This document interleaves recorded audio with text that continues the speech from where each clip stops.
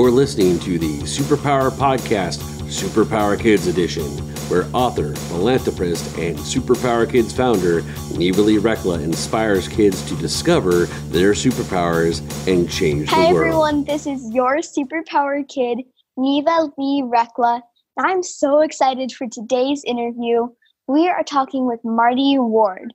So, Marty has already been on my show before, but I'm having her on again because she, she is so amazing. And today we're going to be talking about Let's Change the World. So, Marty has really assisted me getting my book out, When Pigs Fly The Parent's Guide to Inspire Your Young Entrepreneur. Marty was one of my sponsors, and she definitely helped. And if it wasn't for her, this book probably wouldn't have been out. So, without further ado, will you help me welcome our amazing, amazing, amazing guest, Marty? Hi, Marty. Hey, how are you? So I'm wonderful, good. How are you? wonderful to be with you again, Neva. And so, and so much. I was so excited to get your book, and I read it. And you've got such wonderful advice for parents and and kids, and how to become an amazing entrepreneur like you, and how to believe in themselves Well, and find you. their passion. hmm Thank you. So, today, since we're talking about let's change the world, I want to know how are you changing the world and what are you doing in the world now? hmm So, how I'm changing the world is I'm making bullying obsolete and civility a way of life around the world. And awesome. so I work with teachers in America, teachers and administrators and nurses, caregivers, uh, to develop skills so that they can communicate with you guys, you kids, in a way that builds you up, makes you feel great about who you are, develops your confidence, and um, so that you feel great about who you are and, and can believe in yourself. So no matter what anybody says to you, that you know who you are. And I've that. also taken that message to Africa. And I've been um, to Uganda twice, and we have an organization over there. And I've actually reached over 80,000 children Holy in cow. Africa, um, and parents and teachers and pastors with the message that being you matters. Because Neva, what's so important is for parents to give your the kids a message that they matter, so that they won't hurt themselves or others. And so by doing that, um, kids can believe in themselves, do better academically, they'll cooperate more. But they really need to have that, you know, your wonderful superpower idea and look for Yeah. the superpowers in their children. Their talents, mm-hmm. abilities, and gifts is what I call them. And to do that, and then when they when kids feel that they're seen for who they are, like your amazing parents who have seen you for who you are your whole life and let you just be Neva and let you develop and grow and evolve the way you have. Uh, Mhm. and so you're evidence of what can happen when parents allow that to happen organically. Yeah, I agree. So, my question is why do you target kids specifically? Why do I target kids specifically? Yeah, why are kids your like market? That's a great question. Um, well, how this, I guess because I've always worked with children. I've been a teacher, I've been a school based social worker. Um, I had a sailing school, Neva, you would have loved it, on the Hudson River. And I built the programs, designed programs for autistic and emotionally challenged kids. And I Mhm. guess it's because, as wonderful as my childhood was, I felt squooshed. I felt Mhm. that I kept being squooshed. You know, you just want to be the center of attention, and uh, no, sit right, do this, do that, wear this, don't do that, do you know? And I felt squooshed. Mhm. And when I ran into an article about a little girl named Ashlynn Conner on the internet one day in 2011, and Ashlynn was actually an honor roll student. She was a cheerleader, but she didn't want to go to school that day. And to do that, unfortunately and very sadly, she killed herself.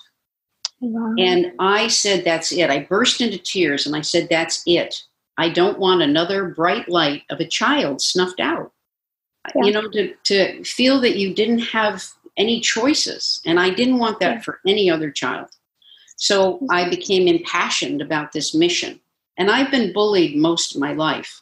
So I know what that feels like.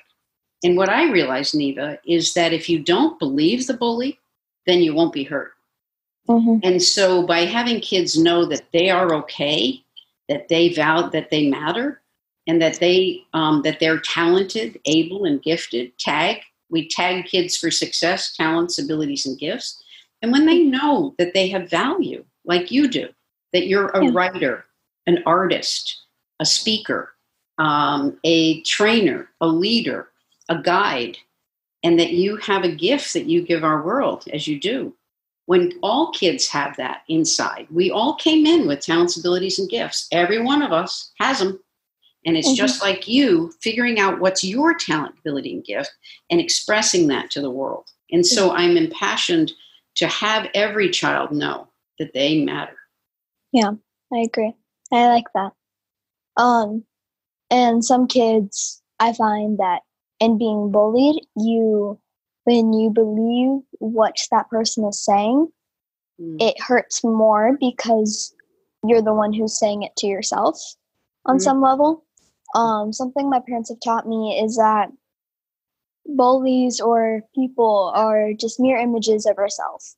So somebody's being mean to us, good chances that that is an aspect of ourselves saying, well, maybe this is time for this piece of you to be released mm-hmm. and to go on and not hurt other people and to uplift yourself and uplift others.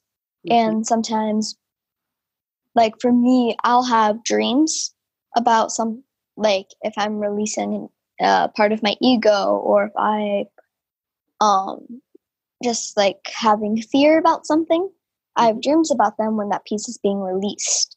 And so it comes up in reality.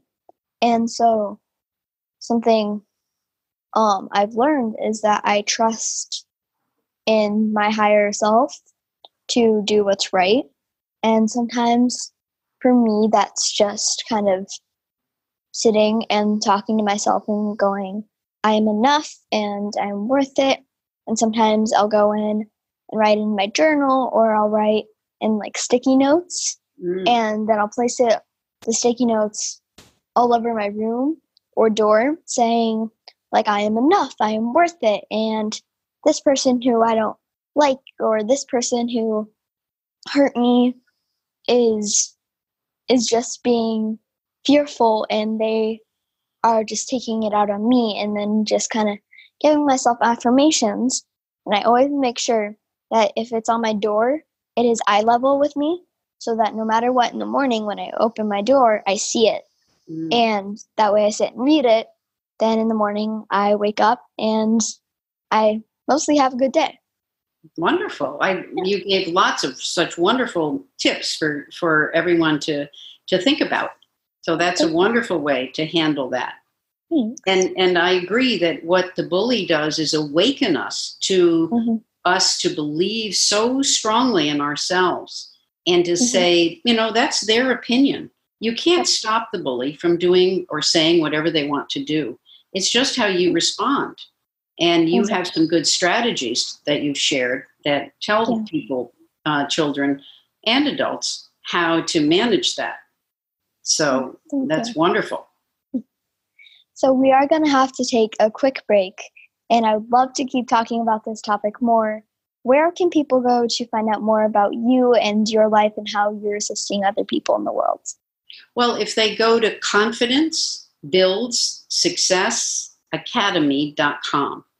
Confidence Builds Success Academy.com. They can learn all about our programs. Awesome. Definitely go check Marty's website out because she is so amazing.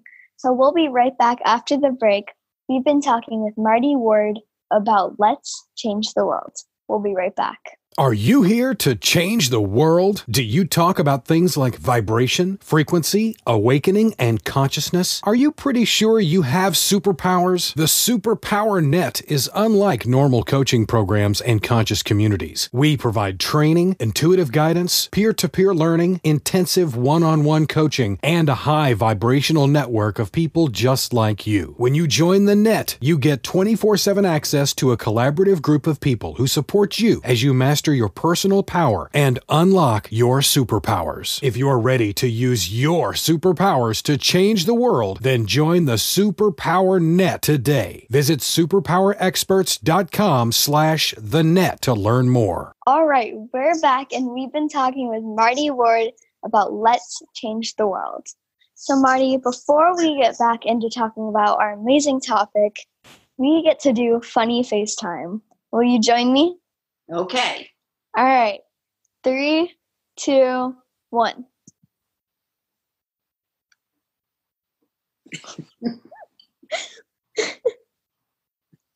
Those are getting funny faces. so, funny FaceTime is one of my favorite parts because it, for me, it not only encourages adults to have fun and be themselves, but it also encourages kids to stay playful in life. So I like it. yes, it so, does. So I have a question for you. What advice would you give somebody? So you've given us advice in the previous interview about how kids can like help prevent hurting themselves or help prevent like being hurt by someone else.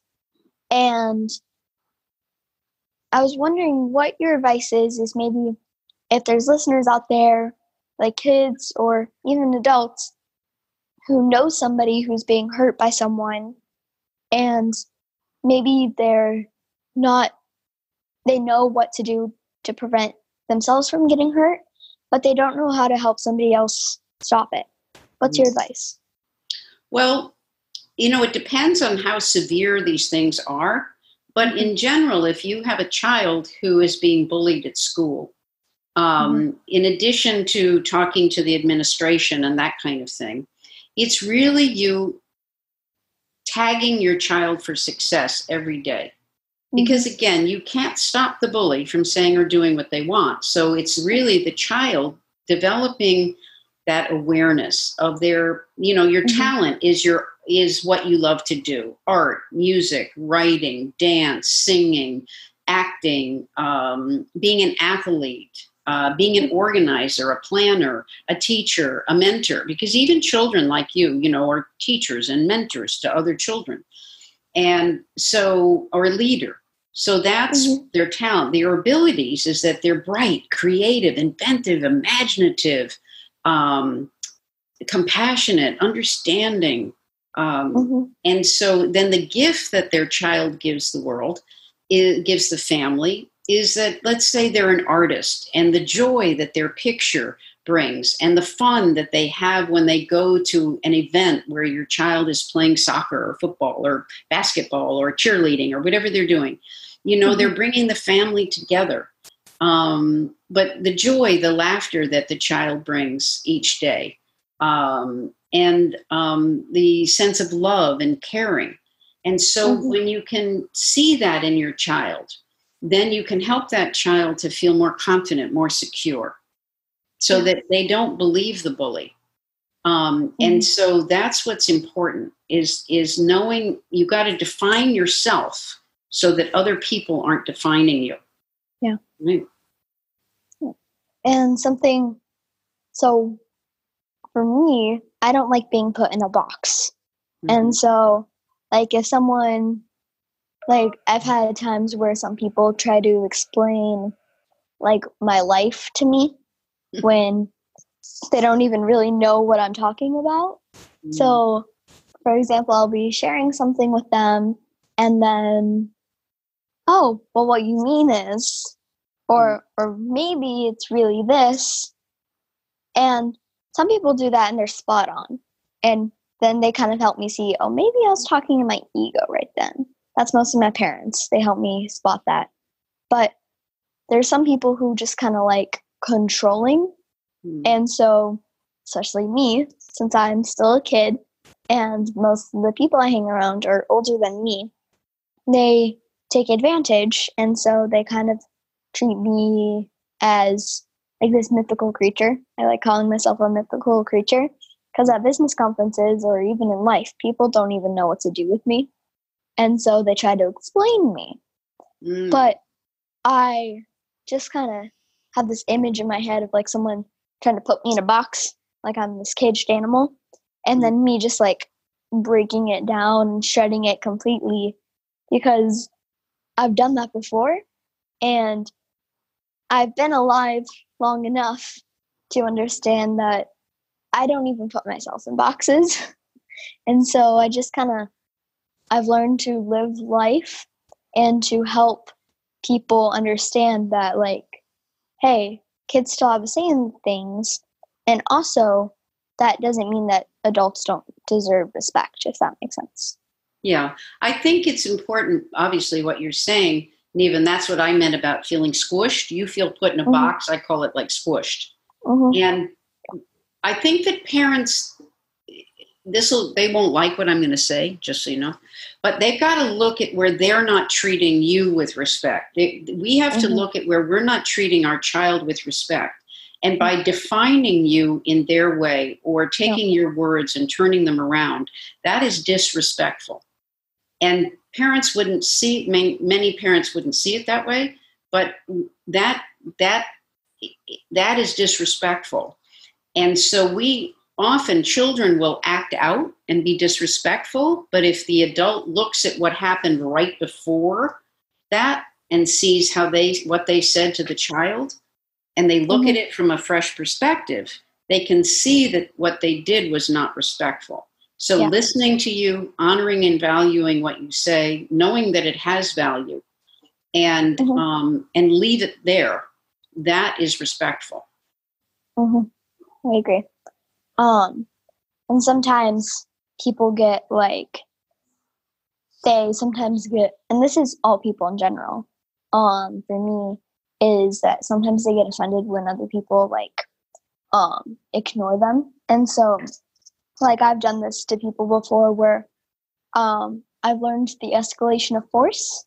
I've noticed that as I've gotten older, I haven't I've gotten less afraid of telling people next time you do that, I will either A hurt you or B I will walk away. And so my parents have taught me escalation of force, but they've taught me don't do what you're uncomfortable with and don't do something that you you would be upset if someone did to you.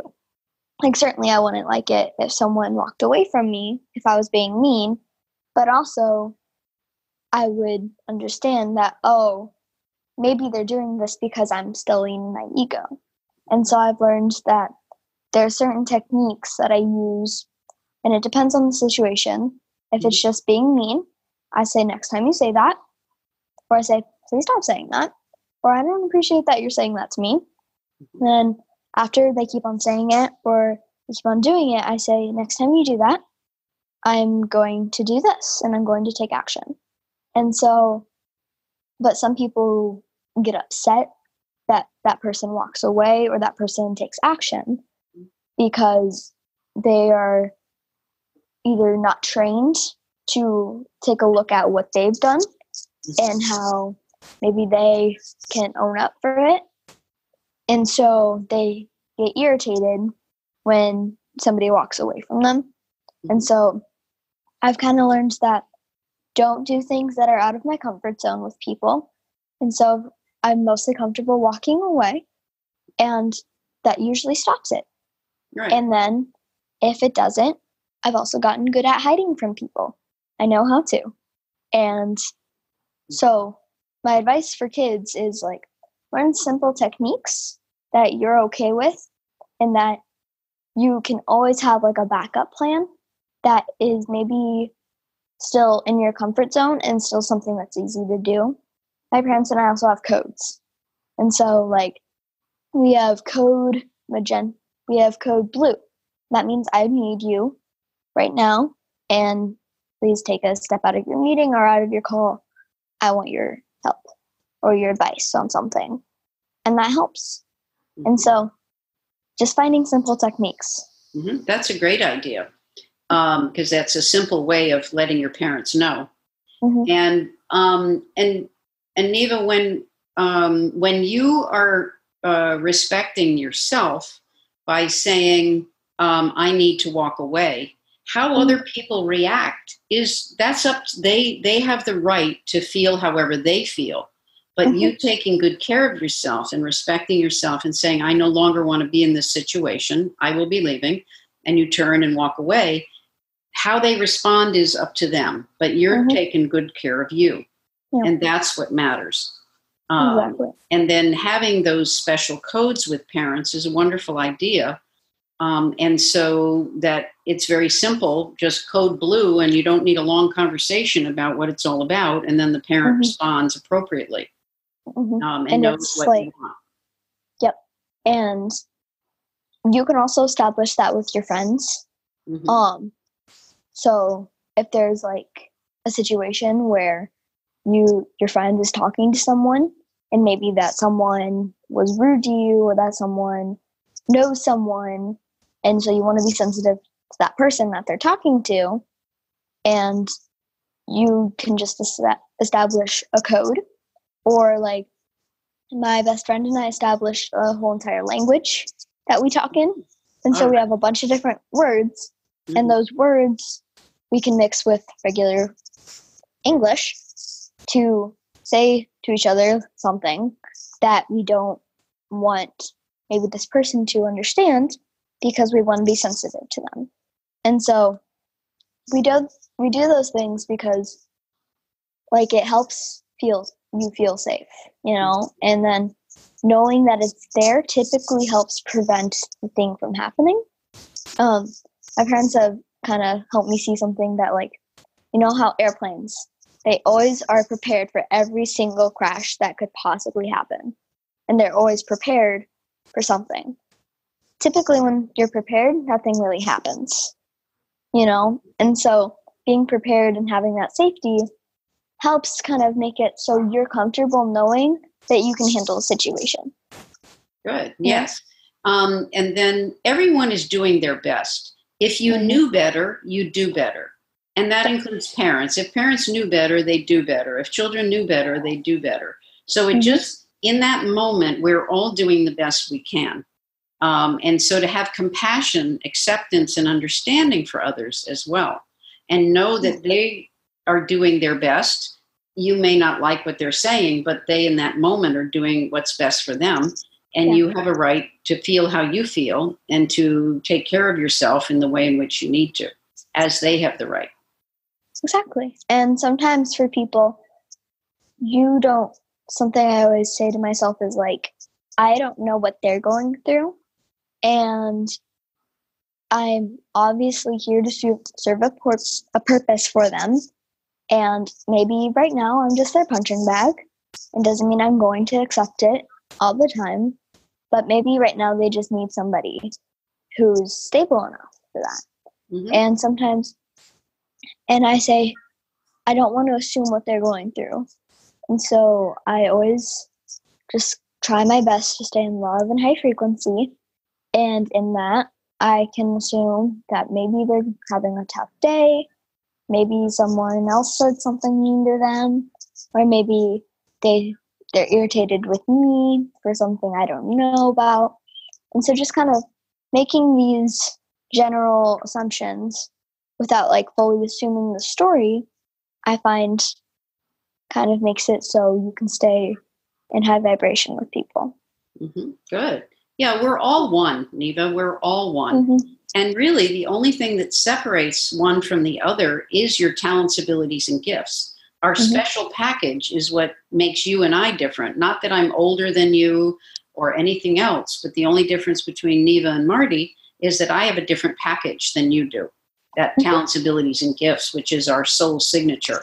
And accepting people for who they are as they are, and knowing that we're all one, we're all connected, and giving them a break as you give yourself a break, right? You have to be gentle to yourself. So you were Mhm. saying, you know, how do we change the world? Well, you change the world first. You've got to be you got to change you first. What is it that Yeah. you need to do for you to grow and develop? What is it that you what is your passion? What is your interest? And then what is it you're going to develop? And then you can share it with others, right? And to change the world, we have to change ourselves first and then decide. So, Mhm. what is your take on the um, on the environment with all the marching and everything that's going on? Um, I don't pay attention to that stuff. Um, I typically only find it out through people I know or through Facebook.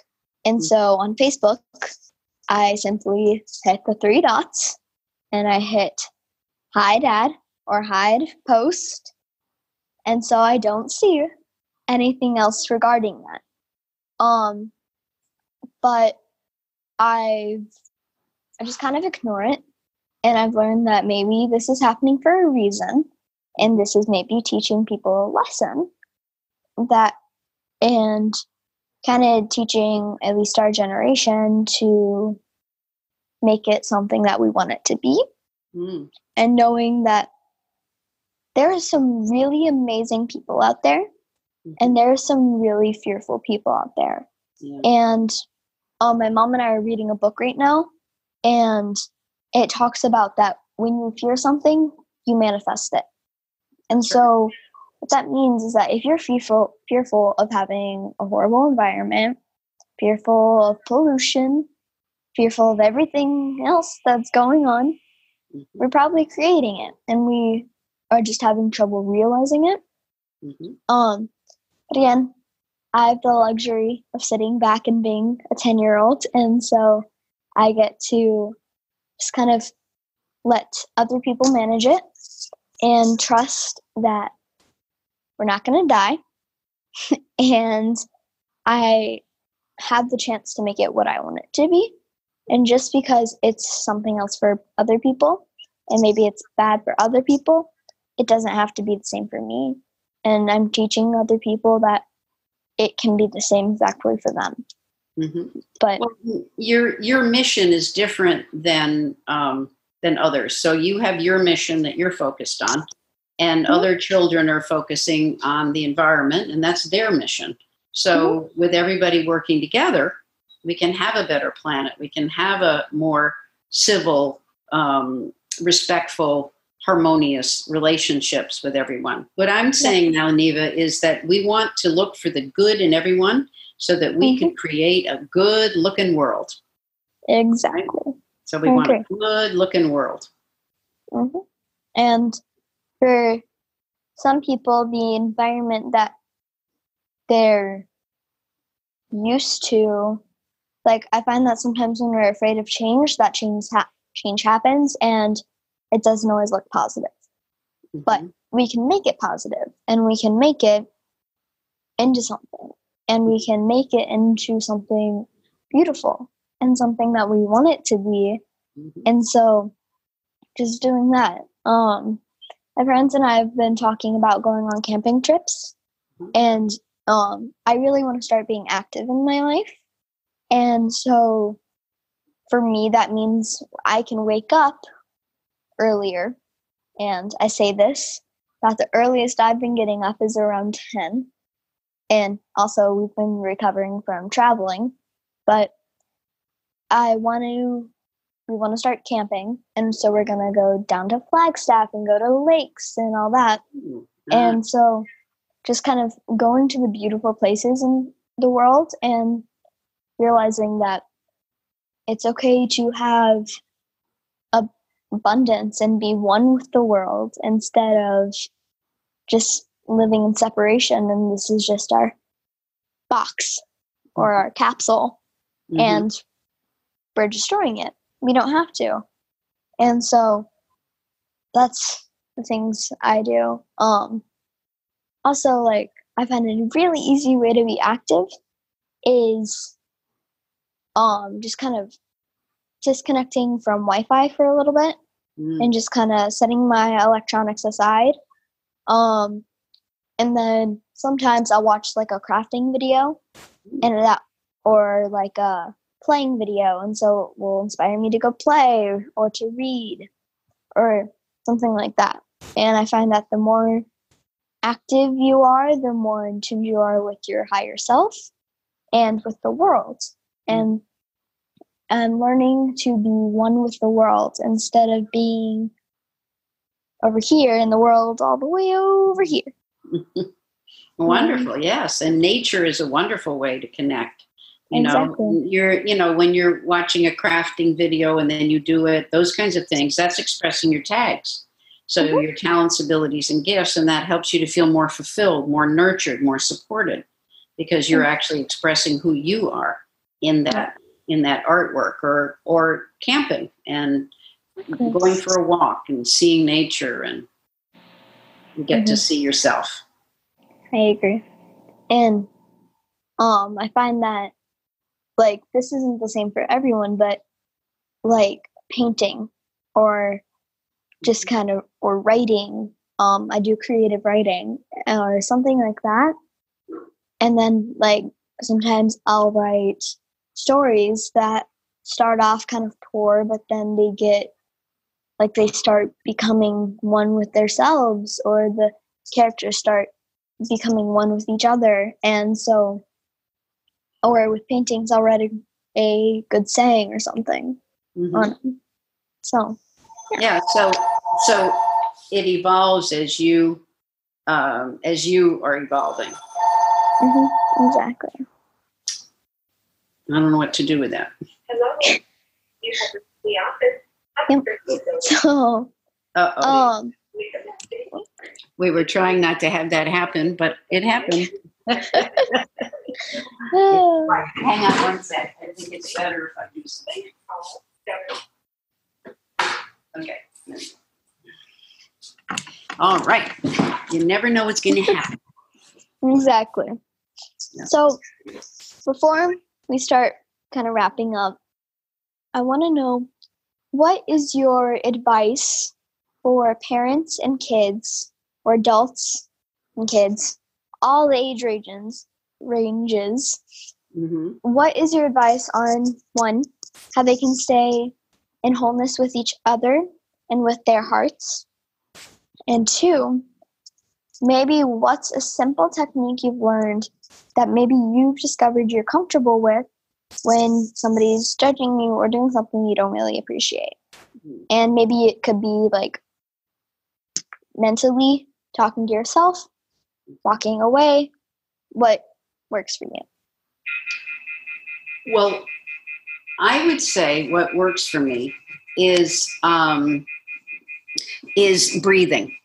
So um, to keep in harmony, um, Mhm. what you can do is to take a deep breath.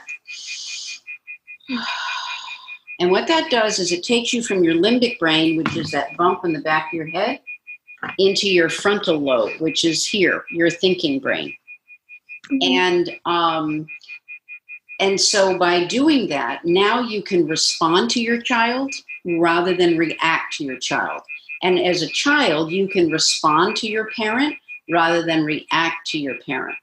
And Mm. so by being in your thinking brain because when we're in our limbic brain we're in our fight or flight brain and we're going to act that we're going to react rather than respond um, and to really have compassion for yourself neva is so important to have compassion and acceptance for who you are.